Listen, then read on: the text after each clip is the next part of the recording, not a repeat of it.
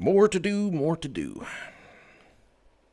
Well, good evening, everyone. It's Terra Quattuor. Uh, yeah, it's me. It's it's Terra. Terra Quattuor. Yes. Hello. Uh, well, it's Saturday. I apologize. I'm doing some things. I'll explain in a minute. But it, it's Saturday. It's Saturday, October 19th, 2024. What is it? Day 293? There he is. Check that one. Sorry about that. And yes, this thing needs so so much work. It's um all kinds of funky right now. Like that's not an understatement. I, I need to get so much of this thing fixed up. I'm just working on a very simple avatar for right now. And it's being a pain in the butt because I have very little idea what I'm doing. Usually I buy some assets and just get it working. this one takes some work. And no, I didn't buy it. I I uh, I use a program. Um, in fact, uh, the program's good. It's just some of the extra things I need to do are a pain in the butt. Anyway, let me take a look here. And like I can say, um, one of the things I'm trying to do, because when I look in the um, in the like in, in, the VRC SDK, and I'm working on uh, the Avatar Manager program part where you're getting ready to start uploading and take a look at the what's wrong with it. What I can say, for those who use VRoid Studio, that's the program. It's a good program. It works. It's simple, straightforward, and customizable. You can use a mobile version or you can use the desktop version and put it to your VRoid hub. That's kind of what I did. But for some reason, the leg hierarchy is constantly trying to say that the hip, knee, and everything are not parented properly. You know, parent-child thing with the uh, the uh, the hip bone and the uh, leg bone. And for some reason, it tries to say that the uh, thigh bone's orientation is at zero, or it, its angle is at zero when it needs to be closer to 180 degrees. And I have no idea what it's talking about. That's when it's that's when you realize you're a complete novice. That's me. I'm a novice. But hope, hopefully soon or over time because I'm going to keep working on this thing so I have um less over the top avatars, I guess. Something, you know, just some some some some simple things. But uh, look at this. This is what the, this is what the VRoid mobile does. It gives you some like really stretch it. The weird thing about VRoid Mobile, though, or just the VRoid Studio, is I looked at it and still the performance of this thing is listed under extremely poor, where its polygon count is above 60,000, but the number of bones that are on there, like bones and colliders, are like, what, what did it say, like 600? It made no sense. It makes no sense at all. How are there 600 on this thing? I, I don't see 600 bones and colliders. Uh, let's see. Anything? Well, well, yeah, I got some on there. What is it? The individual strands of hair? Maybe. Maybe. But yeah, it, in order to get this thing working properly to use around other people, it's going to take some serious work. My goodness, is it going to take work. Not to mention, um, some of the bones, especially in the hip area, are a little bit slow. I mean, look at this.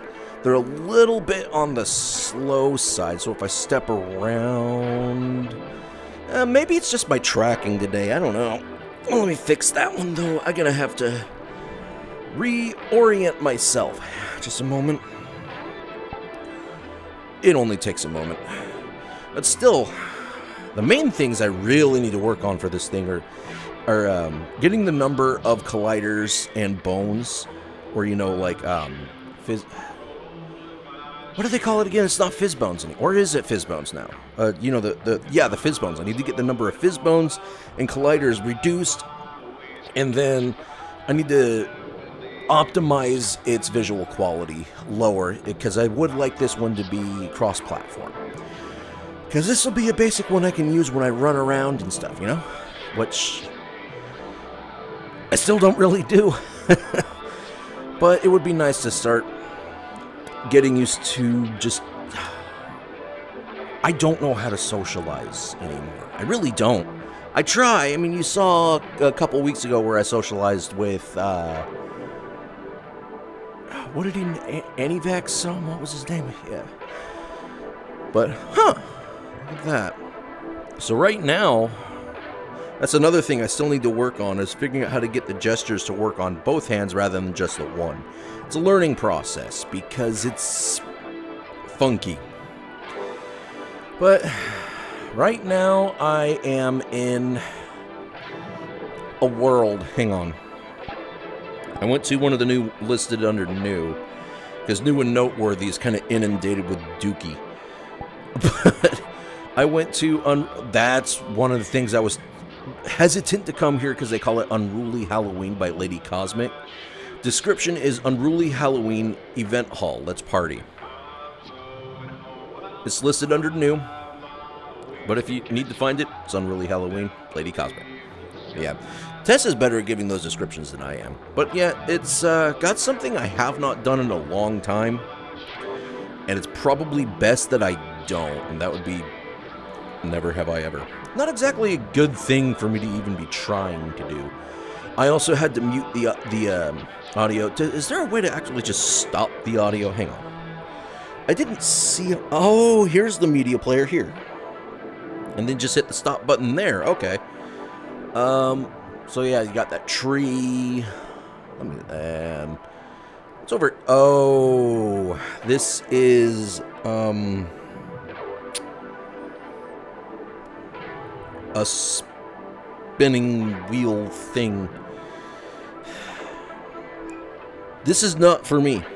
This is not for me anymore. And, and one thing I will, uh, you know what, let me get the camera back out. Let me, let me just get that back out real quick. Yoink. Come here, y'all.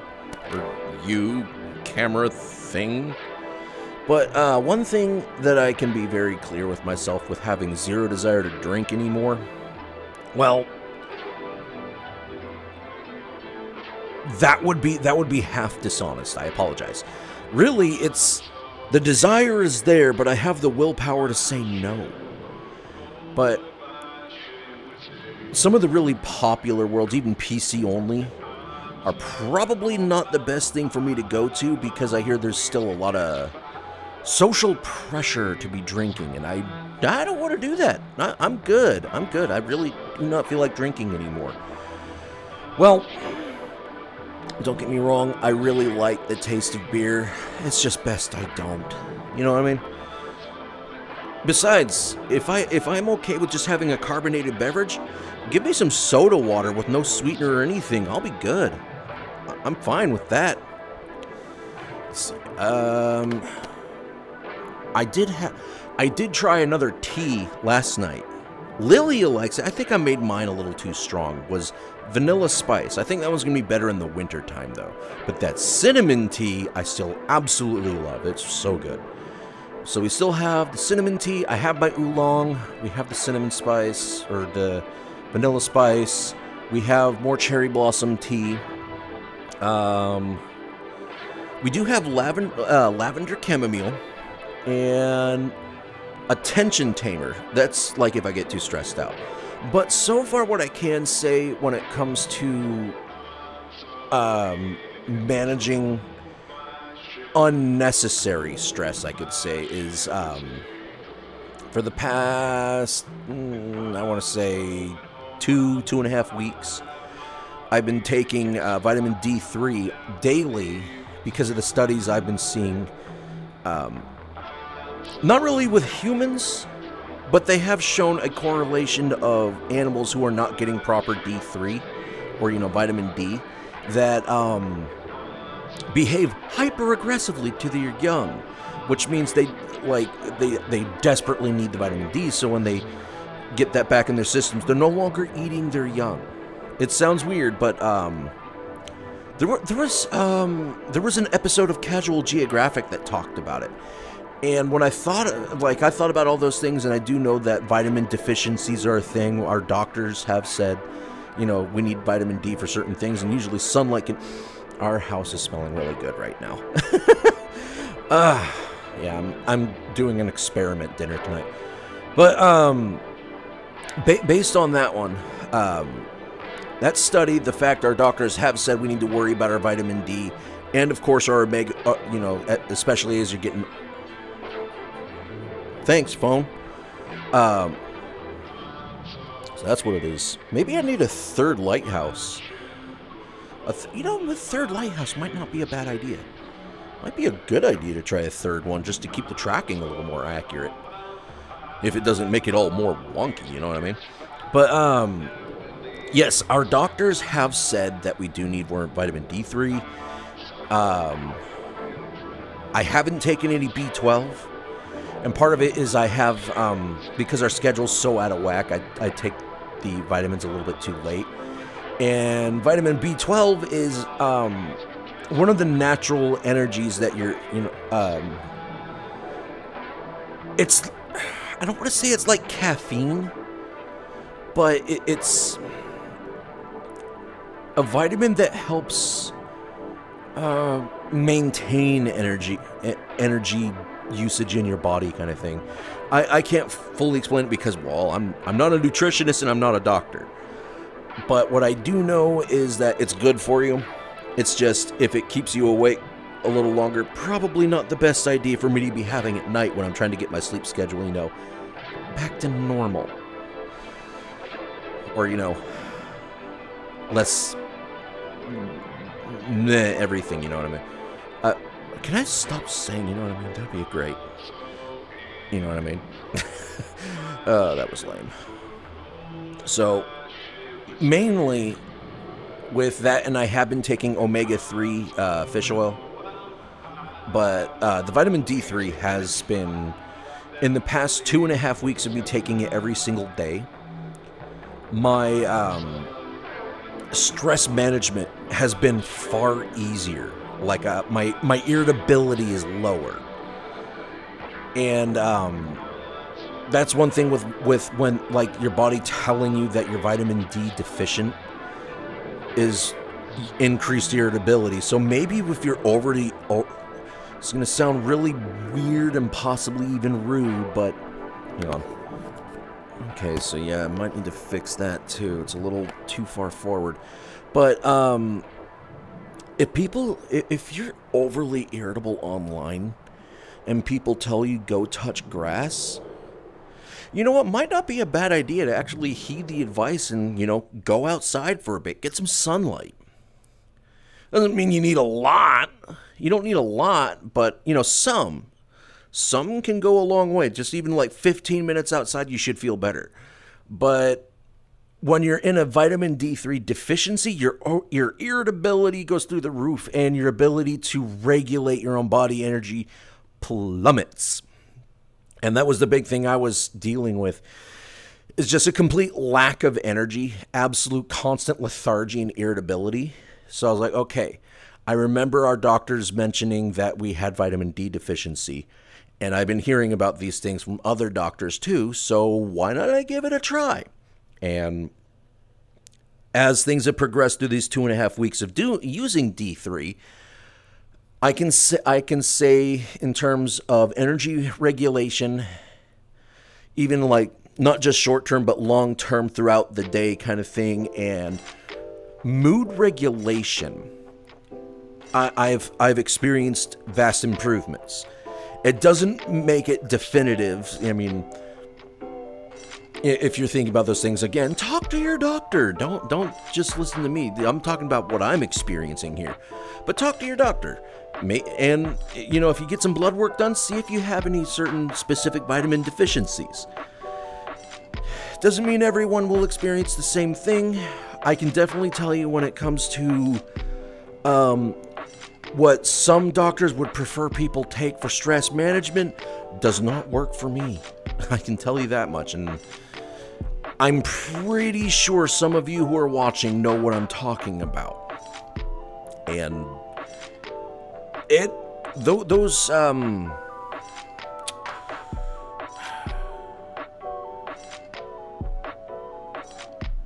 yeah, they they they they cause horrendous horrendous problems for me. Like not good, not good. So more I I, I have I'm in a position where I have to take more holistic approaches to stress management and stuff because if I if I go the established pharmaceutical route, which um, right now I really don't trust pharmacies because they just keep, you know, forcing the huge prices down our throats. If you know what I, it, it, I'm not going to say that. I'm not going to say that last bit. But they, they, to put it simply, in the United States, they charge us through the wazoo. So, not having to pay those exorbitant prices would be fantastic. And taking the holistic approach uh, so far is showing that it would be far cheaper for me. So if it do what works for you and what your doctors recommend. How about that? But for me, I can't do do what they recommend because they cause um dangerous side effects. So I just don't touch them. But like I said, so far it, it seems to be working. My stress management is doing better. Uh, it's more balanced throughout the day. I have more and more energy to get through the day, which means if my if my D3 uh, D3 blood count is balancing out, hopefully I'll get somewhere that's you know doable, doable, which means I can get back doing yard work without feeling too lazy. That'd be fantastic. Actually, I, I just I just need to do it. But yeah, yeah, that, that should that should about do it. Yeah, I, I apologize for just dumping that on you guys. It, it, it happens. And yes, I still need to work on this avatar. I have a couple others I need to work on, but I really, really need to um I need to learn a little bit more about the uh the parent-child bone alignment in in the um avatar skeleton and then of course the um optimization and learning the new gestures system because I added a plugin from uh, GitHub and it's a learning process. And I was like, what am I doing? and I hear that when it comes to graphic design and often even with avatar creation, it's uh, it's half the time smacking your head into the desk until it works. And if I remember with all the other avatars I worked on in the past, because it's it's it's been a while since I've worked on avatars at all like even the most basic of stuff. Uh, the last time I did is when I got the two newer avatars. That was what, like six months ago? And the time before that I worked on any avatars was a year and a half. So I seldom ever even work in VRChat SDK. So I really have no idea. And every time I ever worked on those, it was a memory of me metaphorically, metaphorically smacking my head into the desk until it worked. And eventually it does because I'm stubborn and don't like to give up. I really don't. I'm, I, I, be, I guess in terms of well, a lot of things. If if things aren't going right, being stubborn is a, is can be helpful because if you're overly stubborn, make sure you're trying to get yourself in a good direction on a project. Especially if you work in a group, because if you're just being stubborn, you're just going to bring everyone else down. But anyway, that's a different story. If you're working by yourself and just really, really working hard, being stubborn can be helpful because uh, that level of stubbornness can also equal perseverance. Yes, that's the word we're looking for, perseverance. But I mean, no, I'm just, I'm just really stubborn. But anyway, that's that's enough of, of that today. This is Terra Quattuor. It's Saturday, October 19th, 2024. We have one week, so next Saturday, I will indeed be taking on the Toe of Satan challenge. I look forward to being here with everyone to take that challenge on. I have to do it IRL, so I'm not going to be doing anything live, but the whole video, the, the way it's going to work is the whole video start to finish, there's going to be no editing in between just to prove it was done. But if it comes down to it and there are any questions, I might have to do it live. And frankly, I don't know if I want to do something like that because we're still not. The things that we have available aren't exactly stream ready, especially since the webcam's busted and using the phone as webcam uses more CPU power and trying to use uh, uh, VSeeFace for the VTube capture uses CPU and I can't translate it to the GPU. I need something that does GPU. That might help, especially if we're using something like, you know, the Switch, which also the game capture card runs more of it off the CPU. I might be able to pull something off, but we'll see. But anyway, this is Terra Quattuor. Enjoy the rest of your Saturday, and uh, we'll see you all tomorrow on Sunday. I'll see you around.